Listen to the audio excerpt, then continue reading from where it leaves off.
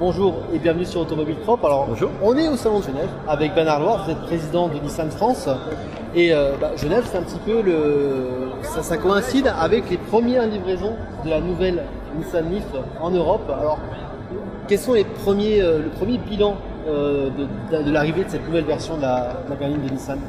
Alors si vous me permettez, j'aimerais parler tout, d'abord de la toute première génération de Leaf, puisque Nissan a lancé le premier véhicule électrique de masse et nous avons vendu maintenant plus de 300 000 véhicules au travers le monde. Et donc nous sommes ici effectivement en plein lancement de la nouvelle génération de Leaf, la génération 2.0. Et euh, les premières commandes sont absolument extraordinaires. Pour vous donner un chiffre, en Europe, nous avons pris plus de 20 000 commandes. Nous allons prendre 20 000 commandes vraisemblablement à la fin de, la semaine.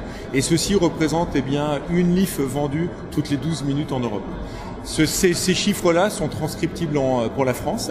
Et en, France, nous avons pendant la période de précommande, à savoir avant que la voiture n'arrive, nous avons pris 1000 commandes euh, euh, de clients en France. Et 1000 commandes, eh bien, ça correspond à deux ans de vente de Leaf de la première génération sur ces deux premières années de commercialisation. Donc clairement, un décollage très rapide de, de- de la voiture. Et qu'est-ce qu'on peut espérer sur une année pleine en termes de commandes, en, en- en termes de livraison en France, en Europe? Alors, nous tablons sur euh, un doublement des, euh, des, des ventes de, par rapport à, à l'an dernier. Donc euh, là, par rapport à, donc à, à l'ancienne livre sur sa dernière année. Donc aujourd'hui, euh, il est euh, difficile encore de, de- d'estimer complètement le marché le potentiel du véhicule électrique. Et ce qu'on regarde et ce qu'on constate, c'est que aujourd'hui, le véhicule électrique, la Leaf, rentre dans la shopping list des clients qui euh, aujourd'hui sont à la recherche d'une euh, berline familiale. Alors justement, c'est intéressant qu'on parle un petit peu, on parle de berline. Alors la communication de Nissan, il y a un spot TV qui est passé. Finalement, l'électrique apparaît presque au second plan. On ne parle pas spécifiquement de l'électrique dans le spot. Et même au niveau du design, on est sur quelque chose qui est beaucoup plus proche des autres modèles. Est-ce que finalement, ça, ça veut dire quoi? Ça veut dire que Nissan veut vendre sa voiture électrique comme une voiture comme les autres? Bah, c'est une voiture comme les autres. Et effectivement, euh, moi j'ai même une fois dit, mais c'est pas une voiture électrique, c'est une voiture qui a un contenu technologique qui est unique sur le segment et en plus elle est électrique. Et pourquoi je, dis ça? Aujourd'hui, nous sommes à la deuxième génération de, véhicules euh, électriques.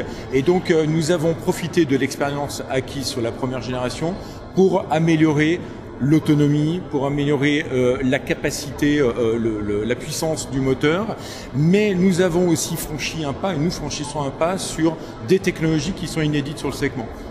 Par, exemple, eh bien, ce qu'on appelle le ProPilot, qui est le premier pas vers la conduite autonome. Qu'est-ce que ça veut dire? Ça veut dire tout simplement qu'en appuyant sur un bouton, eh vous allez pouvoir faire en sorte que la voiture garde une vitesse constante, freine quand la voiture de devant euh, freine, reparte quand la voiture euh, repart. Et par exemple, si vous prenez le périphérique parisien, vous pouvez euh, bien rouler sur le périphérique par- parisien sans globalement toucher la pédale de frein et avoir ou d'accélérateur et maintenir des, des- les mains sur le volant. Donc une aide au confort et à la sécurité de conduite. Mais vous avez aussi par exemple une technologie qui s'appelle l'e-pédale et là qui vous permet, et c'est vraiment à essayer, de conduire la voiture avec une seule pédale. On connaît tous la voiture à trois pédales, puis la voiture à deux pédales, la voiture automatique. Et bien maintenant, même si notre Leaf est évidemment à une pédale de frein, en appuyant sur un bouton aussi, encore une fois, vous pouvez accélérer en relâchant l'accélérateur en fonction de la, euh, vitesse de relâchement, et bien la voiture va freiner jusqu'à l'arrêt complet si vous le souhaitez. Et donc euh, ça permet là encore dans des conditions de circulation, on va dire euh, citadine ou, périphérique, eh de conduire avec un seul pied et donc encore une fois une expérience de conduite et un confort de conduite unique. Alors la Leaf, elle est aujourd'hui proposée en 40 kWh. On sait qu'il y a une autre version qui va arriver en 60 kWh. Est-ce que on a plus d'informations aujourd'hui sur son arrivée? Ce sera 2019 a priori. Alors nous avons euh, annoncé effectivement que nous travaillons sur une Leaf euh, avec une batterie euh, plus importante. Nous n'avons ni annoncé de puissance ni de date, mais clairement c'est quelque chose qui est prévu. Moi, ce que je voudrais dire, c'est que la course à la, évidemment à la puissance est importante pour l'autonomie affichée, mais il faut aussi jauger euh, le, prix et le coût d'une voiture par rapport à sa puissance. La Leaf que nous lançons aujourd'hui avec 40 kWh est globalement proposée au même prix que l'ancienne génération avec beaucoup plus de technologie et de l'autonomie en plus.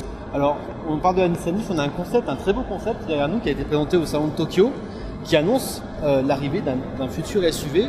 Alors il n'est pas pour tout de suite a priori. Est-ce que là on, voit qu'à Genève il y a Hyundai qui présente le Kona électrique qui est finalement un petit peu sur le même segment. Est-ce que vous n'avez pas l'impression d'arriver un petit peu tard sur ce segment du SUV qui est pourtant une spécificité de Nissan? Nissan a été le, le, le, le créateur hein, des, des, des, crossovers avec euh, le succès qu'on connaît de Juke, de Qashqai et puis d'X-Trail. Euh, il est évident qu'en étant le précurseur des crossovers et euh, le leader des voitures électriques au niveau mondial, la combinaison des deux euh, fait sens. Et donc nous avons annoncé aujourd'hui même ici euh, l'arrivée dans le futur d'un crossover électrique. Par ailleurs, nous avons aussi signalé que nous allions électrifier nos crossovers dans le, dans le futur. Donc bien évidemment, l'électricité ou le full électrique avec le crossover, c'est quelque chose qui va aller aussi sur le territoire de Nissan. Alors, lorsqu'on parle d'électrification, est-ce qu'on parle du système e-Power qui a beaucoup de succès au Japon mais qui n'a pas encore été officiellement confirmé en Europe? Alors, euh, électrification, c'est au sens large. Euh, nous ne donnons pas de précision à ce stade-là, mais effectivement, e-Power, euh, qui est sur, le, sur la Note et puis sur la Serena au Japon, a, connaît un succès incroyable. Pourquoi? Parce que c'est la combinaison d'un moteur essence et de moteur électrique, mais avec les sensations d'un moteur électrique. Donc, vous avez, lorsque vous conduisez une, une Note e-Power, eh bien, le plaisir et le couple de conduite d'un véhicule électrique. Donc, c'est une technologie qui est euh, euh, disponible chez Nissan au Japon, comme d'autres le sont euh, dans, la banque de données Nissan. Évidemment, nous étudions toutes les possibilités en fonction du continent sur lequel on se, on se trouve. D'accord. Il y a une, grosse annonce qui a été faite aussi quand même, déjà qui était déjà avant, c'est l'arrivée de Nissan en Formule E, qui va remplacer Renault à partir de la saison prochaine. C'est important pour vous? Oh ben c'est extrêmement important. Et pourquoi? Parce que d'abord, Nissan a une histoire euh, forte avec la compétition euh, dans beaucoup de, de, de domaines. Donc, euh, c'est bien de retrouver une Nissan sur, sur un circuit. Et deuxièmement, parce que le moteur électrique, le leader du véhicule électrique au niveau mondial, eh bien, doit rentrer dans la course euh, avec un moteur 100% électrique. Donc, euh, ça fait parfaitement du sens. Et je dirais même que la Formula euh, I donne une autre image du sport automobile parce qu'elle permet d'intégrer la voiture et le sport automobile dans les villes et, donc euh, quelque part euh, correspond parfaitement avec euh, eh bien les, les valeurs que Nissan souhaite développer pour, pour, pour le futur de la mobilité.